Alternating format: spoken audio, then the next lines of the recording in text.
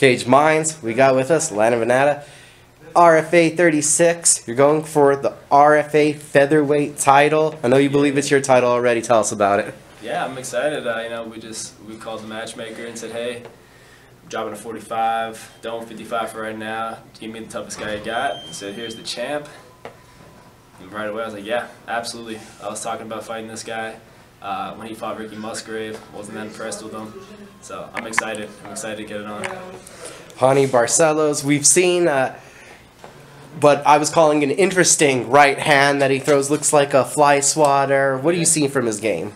Uh, I think he's very predictable. Um, he does have a good right hand. He's got a weird overhand right, and he has uh, um, a straight right that's got no telegraph on it, so it's dangerous with that. Other than that, I think he's pretty predictable. Um, nothing spectacular. He's, he's got a lot of stuff on paper, but I think uh, I think he's just good when he's the bully, when he's the better guy.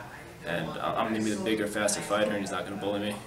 Ricky Musgrave made him look like a million bucks. If you can rewatch that fight, they're just going insane. Glover Teixeira is going insane. Like they think he could be UFC world champion that night. He was so on it, and Musgrave. So were you able to take away anything from that performance besides those right hands of his and say, well, that's what he's dangerous at, or you chalk it up to he had a good night, other guy had a bad night, not much to see there? Yeah, chalked it up. To, I mean, there, there obviously are things to take away from uh, the point of view of Raoni's game and his mindset, but um, yeah, the main thing I took away is that Ricky Musgrave is some WD-40 next time he fights in the cage.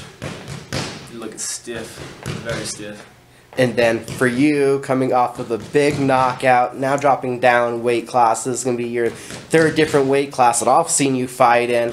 What makes now the time to go down to 45 or to really press getting down there? You know, it's just the competition's getting tougher, and the higher level you get, the bigger your opponents get each weight class. The last dude I fought, I mean, yeah, it was a quick, uh, it was a quick fight. I took care of business real quick, but he was massive, man. He was way bigger than me. Um, so you know, I want to have the size advantage for once. I believe you stand at five nine. I'm sorry, I'm five nine. Uh, I walk around high 160s.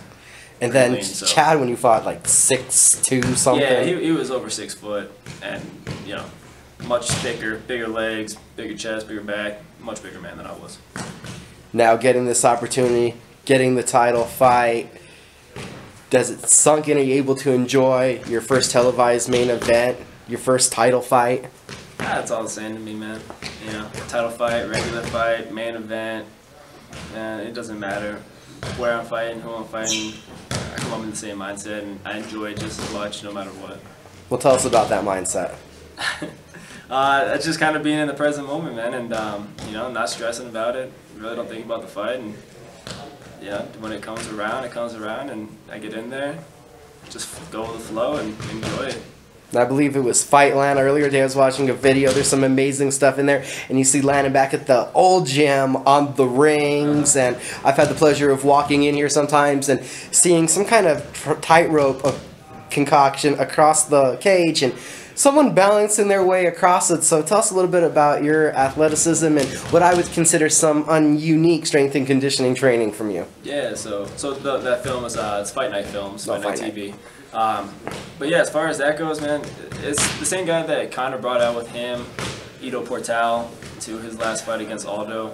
I've been following him for four or five years now and practicing different locomotion patterns and uh, different gymnastics, tumbling, ring work, um, you know, all different body weight exercises, getting on the slack line, um, you know, working my balance and the core muscles and the coordination, and even different light stuff, man, like taking sticks and moving them around my feet on my back, trying to, you know, uh, move it from the top of my feet to the soles of my feet. All these different movement patterns that are complex and just build different neural networks and connections in your body and just help your overall athleticism and your body awareness. And how did you stumble on following this train of thought? Yeah, so um, the whole movement thing started. Uh, I was wrestling with uh, Mr. Goito Perez and I blew my shoulder out, dislocated my shoulder, and uh, was looking up rehab stuff. Came across an article about hanging, just hanging like a monkey, you know, completely relaxed and helping to reshape the shoulder joint. And then just, uh, that was the beginning, just followed it down the rabbit hole. And now from you, we've seen also, I've heard the Jedi mindset is what you want to live by. So tell us about that. Nah, yeah, so I, I I was uh, digging that Jedi philosophy for a little bit. Um, you always bounce around. It's always everything's changing, everything's in flux. Um, but it's, the mindset I really carry right now is just uh, more of like a Zen Taoist mindset, which is similar to what you see in the Jedi Star Wars flicks and whatnot. Um, but you know, it's just being present, being calm, being empty, uh, being receptive to whatever happens, and just going with the flow going with that flow and then talking about your movement and also precision. I gotta say it was remarkable watching you hit that bag earlier. I saw you come in from like 10 different directions and you're still kicking the bag at the same spot. So different entries and still the same point. Tell us about practice that makes this precision possible. Yeah. Well, I mean, that's just, um, we're coming towards the end of the camp now and we're in the last week of training. Um, over the past seven weeks, it's just been I've had days where I'm going hard, days where I'm going light. And on those light days, I'm just drilling technique. You know, I have certain handful of techniques that I'm working on specifically for Raoni, and I'm in a thousand reps before this fight happens. So, you know, we're in the 900 range right now.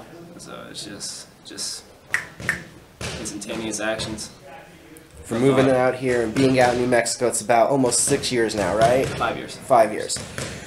Being out here this whole time, how can you talk about how you've changed? You just there's a lot really to cover from coming out here with the wrestling kind of background and this whole transformation striker and taking on uh, this next level fighter um, kind of mantra that Brandon Gibson told me. You know, you're one of these next level guys. Yeah, it's just one of those things, man. When I came out here, I thought. Uh, yeah, I look at these fighters that were high level. I'm like, oh yeah, that's what I want to be like. I'm gonna imitate that guy. I'm gonna imitate that guy. Um, I think it's part of the process. You start early on. You learn the very basics. Then you imitate people. Then you start stealing their techniques a little bit.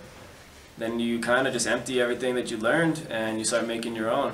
You start creating your own techniques, your own flow, your own style that fits to your personality, that fits to your uh, abilities and your weaknesses, and just kind of come along in its own process with the help of my coaches. And I love where it is right now. And then, just when was it? How long did it take before you, in years process, said five years out here, and is it just really this last year that you felt you've come into exploring uh, your own self? Yeah, I'd say last year, year and a half, really just bursting into my own, and um, I think I've, I've kind of been there for a little bit longer, but I'm really now starting to believe in it. I'm really starting to have the confidence in my own skills. And then, how long did it take in the gym to get that confidence to have your own style? Because the hands down, your movement, people watch the last RFA, it's completely unique. There's some other guys in the same realm of thought, but yeah. yours is unique to you, obviously. Yeah, absolutely, man. I'm doing stuff that nobody else is doing. I have techniques that people have never seen before that I've completely created on my own, you know, just in the moment. And then they've come out beautifully, kind of refined them afterwards. But, um, yeah, to have that confidence myself in the gym, it's just it's taking thousands of ass whoopings in here and getting stronger until those people that whoop my ass, you know, I'm standing toe to toe with them with confidence. So. From RFA, you asked them to give you the toughest guy. Yeah. Was there a minute of surprise though when they said the champion, and you were like, "Well, cool." You know, I didn't think they would give me that tough of a guy, but all right, I'll take it definitely. nah, the only thing I was thinking was, man, like. Ah, I got drop weight class and fight five rounds. but nah, I wasn't. Uh, I wasn't surprised that they gave me the title shot, dropping to 45. They, they're pretty. I think they're pretty happy with me and that they think I'm gonna have a bright future. So, I'm pretty. And then yeah, this other 10 pounds. How you feeling making this weight cut? Um, I made the weight cut back in August, and right now, same time out, I'm two pounds lighter now than I was then. So, um, yeah, it should be no problem. It'll be tough towards the end. It's a big weight cut. I'll be cutting, you know, a decent portion of weight the last day, but yeah, I'm becoming strong. Feel great. What's the message for the fans? Tune in if you want to see some creativity and some art. That's all it is. Landon Vannata, who do you got a shout out to? On it, parents, everybody here at Jackson Wink. Thank you guys, RFA as well. Thank you for the time. Cool.